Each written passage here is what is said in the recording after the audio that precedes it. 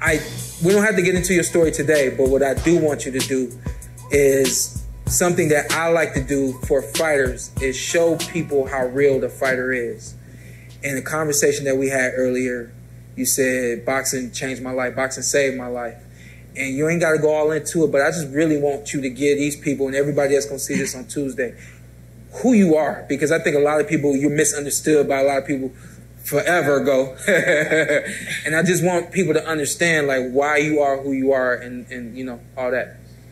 And I would say, you know, uh, I'm just made in a in a misunderstood way for the simple fact of what I've been through in my life and the trials and tribulations that, you know, I overcame, you know, uh, some things still stick with me. Some things I got over. Some things, you know, I'm still trying to get over.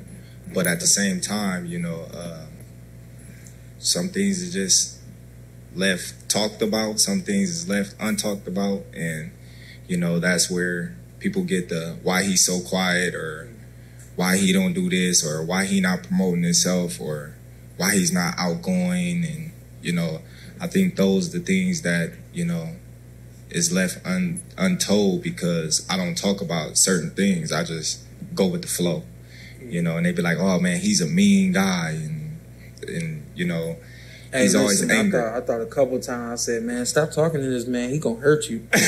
couple, couple times this weekend, man, and you today Oh, too. oh, yeah. yeah, mostly you. I was gonna say, Bud might not do the, the talking when people expect him to, but if you get in a conversation with the man, he's gonna talk. I promise you. Right, right. No, but it's just I think it's just a competitive nature of, you know, growing up and not wanting to lose at nothing. You know, especially life, being that you know, um, coming from where I come from, it's basically life or death. You know, when you in certain situations, and it's literally life or death. So you got options that you can choose to you know, do this, do this, or this, and it's going to affect you in each way that you take. So it's like, you know, for every action, there's a reaction, and, you know, it's just on you which action you want to. Yeah, and you you even mentioned with boxing, it wasn't something you got into to be famous and, and get rich. You just just boxer. Like I just love that's just fight. what you do. Yeah. So, And now you're rich. yeah, and that and that probably goes into it. That people I are like, man, you don't want to like talk and promote yourself. It's like, no, I'm a I'm a fighter. So I like to fight. Like, I get it. You know, they want you to be this certain person that you go out there and you entertain and you show people your lifestyle and you know how you are outside of the ring and you know but for some reason you know it always stuck with me like you know my lifestyle outside of boxing what it used to be wasn't for everybody to know or see or you know talk about. It was for me and you know i mean my close friends and family members to only know about.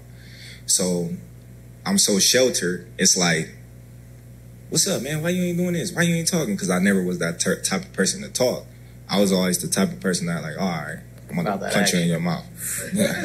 About that action, boss. I ain't about to do none of this other stuff because if I feel like I gotta talk about it, then I'm not gonna do something. So were you the definition of watch out for the quiet ones? I was the watch out for the black one.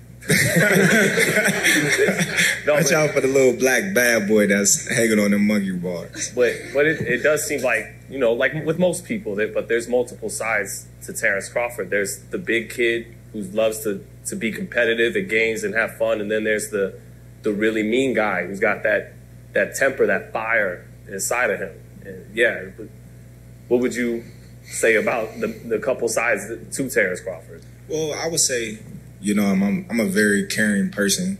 You know, um, I love I love my people. I love the kids. I love to have fun. I love to you know to be outgoing and enjoy myself and you know uh, look out for others. But at the same time, you know, I always been a no nonsense type of guy. Like no matter what level I'm on or you know that's just my downfall. You know, a lot of people be like, "Man, you you a world champion, man. You you can't be doing this or you can't be carrying yourself to like throw the that. ball 60 yards on the yeah, and. I'll be like, this is me. Allegedly. You know, I never want to be somebody else. I never want to walk in another man's shoes. You know, I always was like, you know, this is me and this is who I am, and I'm gonna stand on it no matter what. So it's, it's like you'd rather make $10 million being Terence Crawford than making 25, 30, putting on an act that'll maybe get you more Let's, attention. let's and not all. get crazy now. Yeah, no, but is it that kind of thing though? You it, know? de- it depends on the act that they want me to put on. Right.